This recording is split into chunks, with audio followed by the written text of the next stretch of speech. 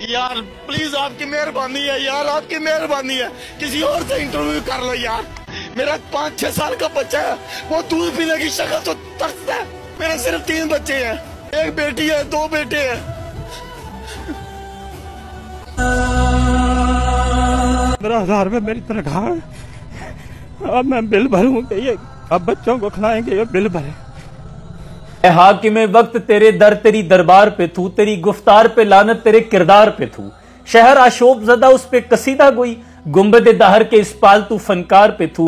اور جس کے پلو سے چمکتے ہو شہنشاہ کے بوٹ، ایسی دربار سے بخشی ہوئی دستار پہ تھو۔ اور کمزور پہ زور زور کے سامنے کمزور، اے عادل شہر تیرے عدل کے معیار پہ تھو۔ جہاں پہنچال بنیادی فصیل و در میں رہتے ہیں ہمارا حوصلہ دیکھو ہم ایسے گھر میں رہتے ہیں اور پاکستانیوں ابھی خاموش ہو کیونکہ ابھی آگ تمہارے گھر نہیں پہنچی۔ ارباب اختیار سے کہنا تھا کہ ایک دن یہ سسکیاں تمہیں ضرور لے ڈوبیں گی۔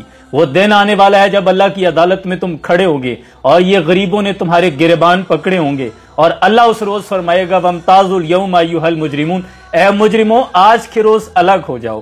خدا کا واسطہ ہے، ہمیں نوچ نوچ کے مت کھاؤ۔ ہم مردہ لوگ ہیں، کہیں بھاگے نہیں جا رہے۔ آرام سے کھا لو۔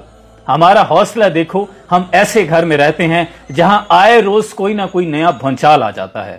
خدا کے لیے ہم پہ تھوڑا ترس کھا لو۔ سلام پہنچے۔